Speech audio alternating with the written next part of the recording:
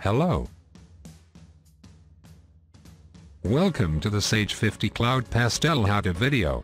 In this video we will demonstrate how to create a new entry type or journals in Sage 50 Cloud Pastel. When users create a company using the Setup Assistant, Pastel creates predefined entry types or journals. Users can create any additional entry types should they wish to. To create a new entry type, click on Setup, Entry Types. Enter the supervisor password and click on OK.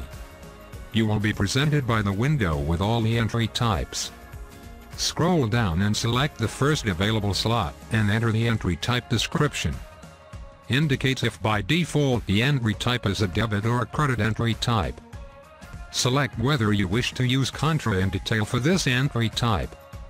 Should you wish force the use of projects, when this entry type is used you can do so by ticking force projects.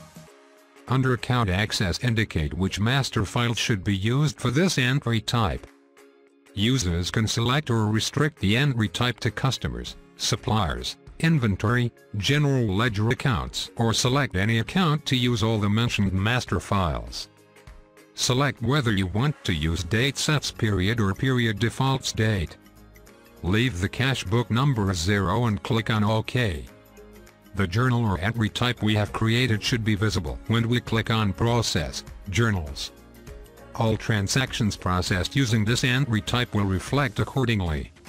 For more information on the use of Pastel visit our digital self-help platforms. Thank you for watching.